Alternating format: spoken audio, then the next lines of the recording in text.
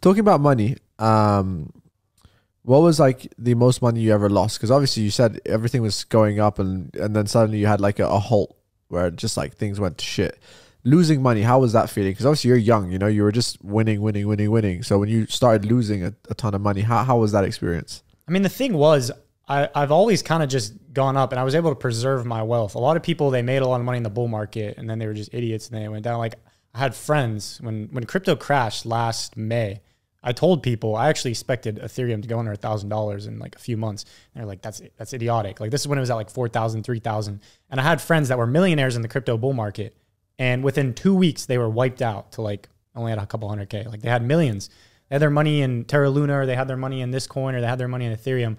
So I never actually dealt with that because I was smart enough to understand how the money cycle works and how the market works. So I never actually had any crazy big losses. Sometimes I have down days. Like I've had days with with my fund where like we're down like 50, 100 ETH, but I even like later in the day I can make that back. Maybe make like 20 ETH to 30 ETH. Maybe I have like a, a 50 ETH down day, which is like 100K, or I've even had 100K down days.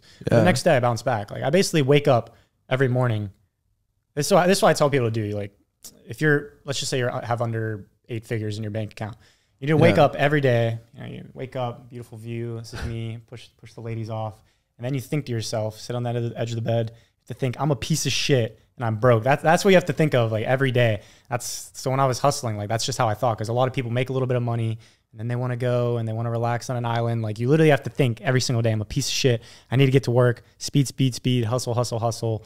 And if you do that, it's pretty hard to have like your your most people's net worth is like a shitcoin chart. It's like boom, boom, boom, boom, boom, boom. But like mine was kind of just like yeah, and then and then it like slowly like it just kept going. Kind of just kept going. I was able to preserve it pretty well because I understood.